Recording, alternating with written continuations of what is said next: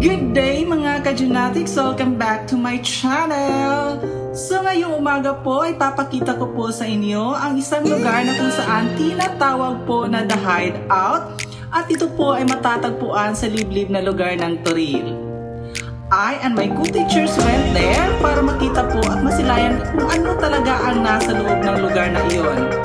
Actually, matagal po namin pinagplanuhan, pinaghandaan at pinag-ipunan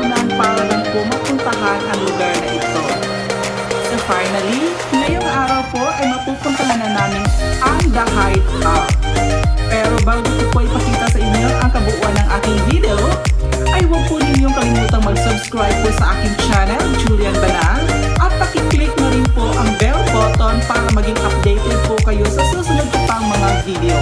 Enjoy watching! Sawadee!